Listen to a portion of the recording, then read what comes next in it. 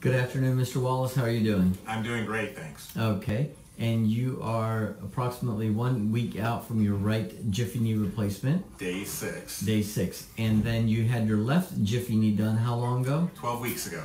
Okay. And how far do you live from Franklin, Virginia? Six hours. Okay. And uh, what what has your experience been like for your Jiffy knee? And again, this is the right knee six days ago, and the 12 uh, weeks for the left knee. Yeah. Okay. What is your Uh, experience? great experience. Um, the pain was uh, uh, nominal coming out of the surgery and basically disappeared five weeks after uh, the first surgery.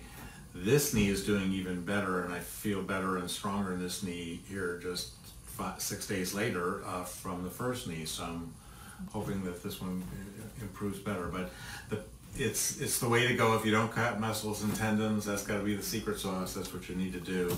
And Dr. Patel is the only one in anywhere that I could find that does this procedure. So why people aren't copying him, I don't know.